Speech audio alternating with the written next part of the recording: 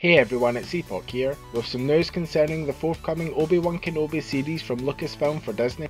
On April 22nd, Deadline reported that Maya Erskine has joined the cast in an undisclosed supporting role. No further details were given. The Obi-Wan Kenobi series is set to begin filming shortly, however no release date has been set as of yet. So let me know in the comments below, you excited to see Maya Erskine join the cast, and are you looking forward to the Obi-Wan Kenobi series in general? If you enjoyed this video then please hit that like and subscribe button and don't forget to share it throughout Tatooine. Thanks for watching.